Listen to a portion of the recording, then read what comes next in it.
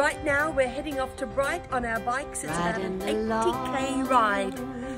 See you at the other end. Riding along, riding along,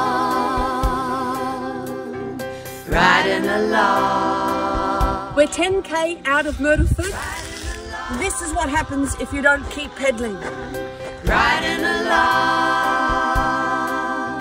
We're on the road again from Bright to Wangaratta. Can't wait to another bee sting cream cake at Myrtleford.